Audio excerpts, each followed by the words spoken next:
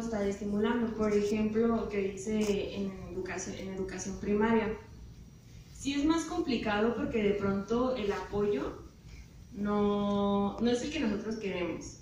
O sea, a veces como que es menos o pues sí, te, sí tú haz lo que quieras, pero pues es como tú arréglatelas, ¿no?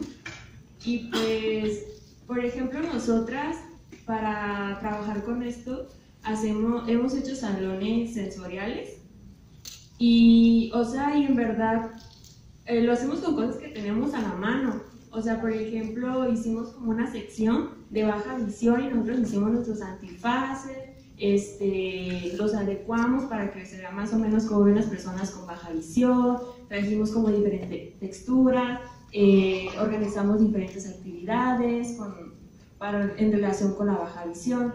Eh, después trabajamos con olores, con todo, o sea, fue un salón sensorial, pero, o sea, realmente, mm, como dijo Eli, eh, yo creo que nosotros a veces somos los que ponemos nuestros propios límites. O sea, si tú quieres y lo vas a lograr y lo vas, y lo vas a hacer. Y no sé si quieres Además, es importante lo que usted decía, ¿no? De que no eh, el sistema educativo, que la política, que las leyes. Bueno, eh, creo que nosotros como maestros, bueno, nosotros estamos en formación. Entonces, eh, a nosotras nos, nos fomentan mucho el decir, eh, tú en, en, tu salón, tú eres el rey. Tú como maestro, tú decides y queda un poquito de lado si la política, si mi director, si mi no sé qué.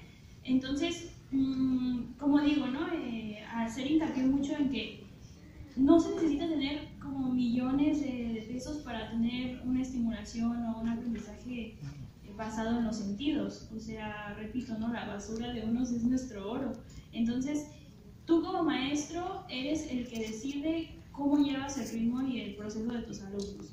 Que sí, es cierto que nos exigen resultados, que nos exigen avances, que nos exigen, eso es verdad, eso no, no podemos negarlo. Pero si tú tienes un, un proceso bien fundamentado en lo que tú sabes, o en lo que tú lees, o en lo que tú investigas, o en lo que, en lo que tus alumnos están haciendo, por supuesto que va a haber resultados y por supuesto que cuando tu director, cuando tu maestro, cuando tu jefe, cuando tu vean el proceso que llevan tus alumnos, tal vez sí en principio es juzgado este tipo de metodologías porque dicen, que no están haciendo nada, es que, o sea, ¿por qué los estás embarrando de gelatina? ¿Por qué están pintando con los pies? ¿Por qué se están ensuciando? Ajá, ¿por qué tienen el salón todo sucio? Pero en realidad, créeme que son aprendizajes que a los niños se les quedan, se les quedan para siempre. Entonces, eh, si a fin de cuentas nuestro objetivo como maestros es enseñar, es transmitir, pues yo sabré cómo lo hago, ¿no? Entonces, eh, yo sí creo que esta metodología se debería de no solamente con los niños con discapacidad, como dije al principio, eh, ya ustedes la vieron, es una metodología como muy amigable con todos. Y, tal vez sí, ah, podríamos seguir el currículo, podríamos seguir el programa, pero tener, qué sé yo, un día a la semana, un día al mes, un día a cada dos meses, cada 15 días, tú como maestro puedes ir como mediando cómo manejas esto, pero es da resultados muy, muy buenos y, nos consta. Gracias. Buenos días, mi nombre es Francisco González García, soy biólogo marino y trabajo en un bachillerato para personas con discapacidad. Tengo dos alumnos, uno con baja visión y una alumna ciega. Me tocó darles el módulo de cálculo y pues como sabemos el cálculo es una materia totalmente visual, no, como que no nos permite mucho, mucho la teoría, porque todo se basa en, en el plano cartesiano y en el manejo de, de, gráficas, de, de, fórmulas, de ecuaciones, pero plasmadas en el, cuadro, en el plano cartesiano. Entonces yo aquí me vi muy, muy limitado, porque tenían, teníamos una tabla con, pues, con agujeritos para semejar un plano cartesiano, pero a mí se me hizo como que muy... no me sirvió como tal, porque el plano cartesiano está dividido en cuatro cuadrantes. Y esta, esta tabla que tenía yo, pues solamente como que dibuja un solo cuadrante, ¿no? y tenía yo que enseñar a mover al alumno en, las, todas las dimensiones positivas, negativas, este, el eje X, el eje Y.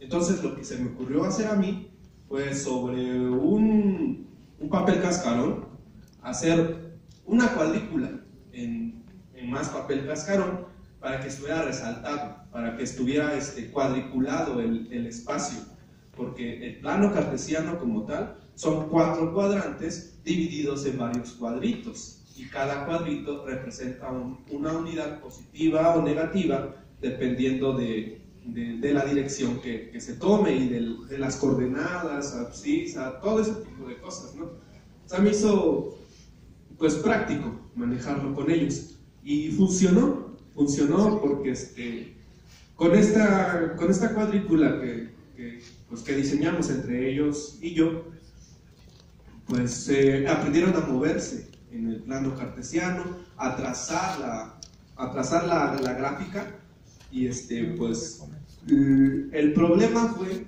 que pues plasmar tal una gráfica saliendo de ese plano cartesiano que les di yo en una hoja fue el problema porque al plasmarlo en la hoja pues lo plasmaban tal cual estaba en, el, este, en el plano cartesiano, ¿no? Cuadriculado. Dibujaban los cuadros así a pulso, pero hasta el límite de, de la gráfica.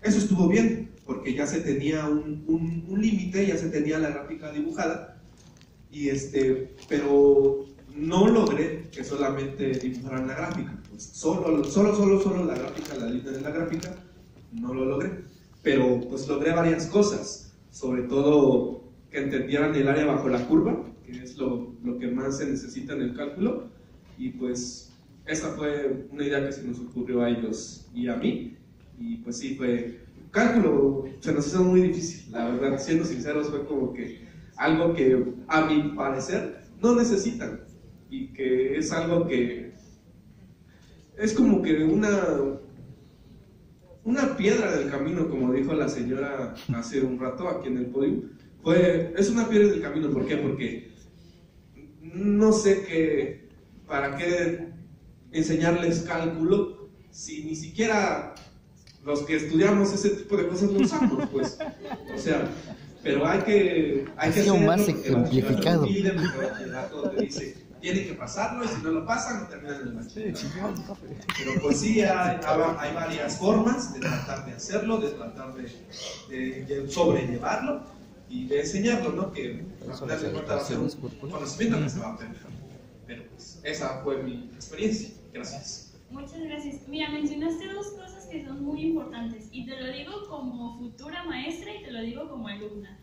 La primera, preguntar. Preguntar, en este caso dices, lo diseñamos entre ellos y yo. Eso está excelente porque a veces los maestros hacen como lo que Dios les da a entender y no te preguntan, no te toman en cuenta y ellos llegan bien emocionados con, mira, te hice no sé qué y resulta que no lo veo. Entonces, es muy importante tener como esa interacción con el alumno, decir, oye, ¿cómo le podemos hacer? Y ponerte de acuerdo y crear como estrategias entre, entre ambos, ¿no? Profesor y alumno. Eso por un lado. Y por otro, eh, entiendo perfectamente que hay temas que son importantes pasar, pero que en la vida te van a servir. Mm, creo que dijiste, logré que entendieran qué es el plan no logré que lo plasmaran, pero logré que lo entendieran. Creo que para mí eso es un logro muy, muy, muy importante, porque al fin de cuentas, cuando ellos escuchen, ah, que no sé qué, un cálculo en el plano cartesiano, bueno, ya a su mente viene que es un plano. Entonces, eso ya es un aprendizaje y eso ya es algo adquirido y eso ya es un logro. Que sí, tal vez es como muy difícil que lo plasmen, bueno, pero puede ser que, como dices, ¿no? Que en la vida vayan a usar un plano cartesiano, pero ya saben qué es. Entonces, hay que también como diferenciar, creo que hay maestros de, de niveles eh, superiores, fuera de primaria y de preescolar, y creo que es importante diferenciar en los contenidos, en la parte del currículum donde venía la metodología, en los contenidos, ¿qué de mi contenido es importante que mi alumno aprenda? O por ejemplo, decir, eh, a mí aquí me pide que le enseñe que es una ecuación de quinto grado, o tercer, segundo, cuarto, no sé, un grado de ingeniería y, y veo que, que está haciendo como muy complicado. Bueno, hay que hacer, como dijimos al principio, ¿no? establecer una meta, pero también, ¿qué de ese contenido es importante que el alumno se quede? Y si es lo más elemental, está excelente, pero lo va a lograr. A, que le digas, oye, necesito que me hagas 50.000 ecuaciones diferenciales ordinarias de tercer grado, pues a lo mejor va a ser como muy complicado para ti maestro y por supuesto que para el alumno pues le va a causar una frustración y un estrés y un ching, no puedo, ¿no? Entonces hay que como saber en nuestros contenidos qué es importante y qué podemos dejar como de lado. Porque mi esfuerzo. Pero al final ya por ejemplo, al final ya las matemáticas, todo se reduce a una fórmula. Mm. O sea, todo, todo se reduce mediante una ecuación. Eh, yo soy maestra de USAER también. Hasta hace cuatro años empecé con la experiencia de trabajar como financiera. Eh, mi experiencia que puedo contar es que eh, me ayudó mucho el preparar como el terreno antes de llegar ya a la escuela. El maestro David conocía a Yami. Yami para mí también ha sido una maestra y con ella he aprendido muchas cosas. Y tiene razón Elizabeth cuando dice que hay que preguntarles. Ella también nos da de repente algunas ideas de cómo poderla ayudar. Cuando yo conocí a Yami, Yami eh, tenía cuatro años. Era, bueno, es hermanita de, de, una alumna que era en ese entonces su hermana, alumna mía en la OJAE. Y me acerqué a platicar con la mamá porque yo veía que la nena no iba a la escuela, que la nena todo el tiempo andaba con la mamá y la mamá todo el tiempo la cargaba o en brazos o, este, de la mano, ¿no? Todo el tiempo. Y no le permitía como moverse, le daba miedo, ¿no? que se fuera a caer, este, que le fuera a pasar algo. Platicando con la mamá yo le decía que era importante que Yami fuera al kinder, que tuviera una experiencia escolar previa a la primaria eh, ella me decía que no, que le daba miedo, que porque a lo mejor en la escuela no iba a haber quién la cuidara, este, o quién la orientara, y, era mucho el miedo de, la mamá, ¿no? A, que le pasara algo. Eh, fue trabajar primero con la mamá, convencerla de que le permitiera a mis este, vivir esa experiencia, y sí, la metió a tercero de preescolar. Eh, cuando ella entra a la escuela, pues para ella fue un mundo nuevo y le gustó mucho. Y desde ahí ella empezó con esa hambre, le digo yo, de, conocer, de hacer. Eh, cuando ella entra tercero de preescolar, mi USAER eh, tenía otra alumna con discapacidad visual también en otra escuela, entonces implementa un taller de braille introducción al braille. Entonces lo que yo hice fue llevarme al director de la primaria y a la maestra que iba a tener primer año el siguiente ciclo escolar al taller. Entonces los tres nos fuimos a aprender braille. Porque digo, en la normal nos dan así como una embarradita de, todo, pero no es lo mismo a que ya necesites enseñarlo o aplicar. Entonces, eh, ese taller sí duró casi todo el ciclo escolar. Era una sesión por semana y la maestra se aplicó bastante, la verdad, la maestra de la primaria. Entonces, cuando ella entró a la escuela, a primero, ya teníamos como terreno un poco preparado y ya me accede a la lectoescritura muy rápido. Pero fue un trabajo de tener mucho en cuenta lo sensorial, tanto la maestra como, como yo, eh, darle así el conocimiento y a mí a través de, de, sus manos, de sus sentidos y de la experiencia. Y también le sirvió mucho a los demás niños de su grupo. Es cierto eso que, que decía ahorita Elizabeth, que ese tipo de metodología pues ayuda no nada más a los niños con discapacidad visual, sino a todos en sí. Ya me accede muy rápido a la lectoescritura, a tal grado que su maestra de, de grado y yo tuvimos que transcribir muchos libros de la aula de, la biblioteca de aula, porque cuando me aprendió a leer, ella quería leer y leer y leer. Aquí en Oaxaca es un poco complicado conseguir materiales en braille. Entonces, ella y yo nos dimos a esa tarea, que la verdad me ha ayudado mucho porque pues escribo muy rápido y en braille, es algo que me gusta.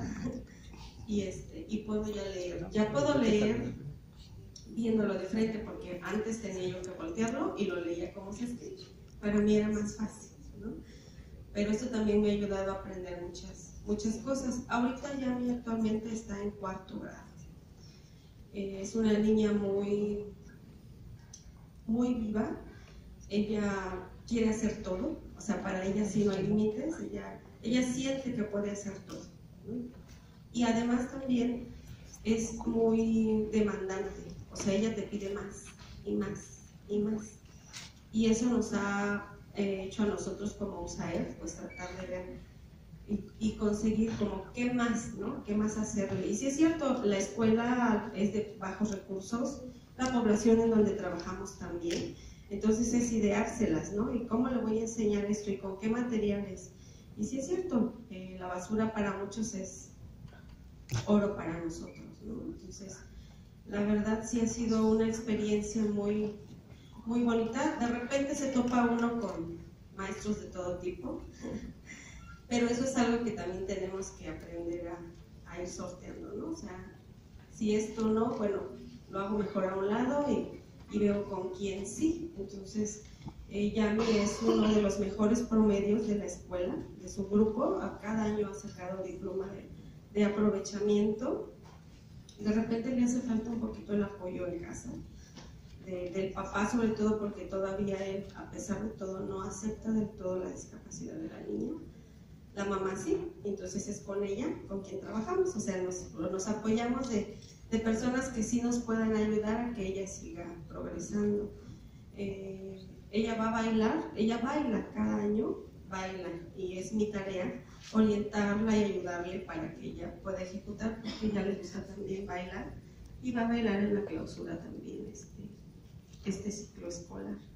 Entonces, la verdad es que a veces sí nos topamos con muchas situaciones, muchas personas que nos ponen como trabas en el camino, pero pues hay que aplicarlas, ¿no? Y, seguir adelante. La verdad, a mí sí me, me, ha gustado mucho esta experiencia que tengo ya ahorita, de cuatro años trabajando con, con Yami y quiero seguir aprendiendo como más, porque yo, yo, yo quiero dejarle, mm, no sé, como las bases para que ella pueda llegar hasta donde ella quiera, que ella pueda llegar a ser una, una profesionista.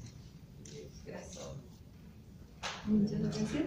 Primero, quiero felicitarla por todo el compromiso y el apoyo que le, que le brinda. Y algo que puedo rescatar de lo que dijo, eh, yo creo que algo muy importante es el trabajo en equipo o sea, el docente, la escuela y papá. A veces, como usted dice, lo complicado es el trabajo con papás, porque ya sea que uno estira y el otro afloja, yo sí quiero, tú no quieres y así. O de pronto a veces están como en situaciones muy complicadas, que la separación y bla, bla, bla. Entonces yo creo que agarrarte de las cosas buenas y de lo que el niño le, le es significativo, o sea, ahí está el claro resultado de que sí se puede. Y pues como en todo, o sea, no todo va a ser fácil, obviamente va a haber trabas, va a haber complicaciones, pero cuando se quiere, se logra. Y, muchas felicidades, me dio mucho gusto. ¿Alguien más? No, ya no. ¿Listo? Ah, lo que sigue es como un receso de unos 5 o 10 minutos y por si alguien gusta ir al baño y vamos a comenzar con el siguiente tema.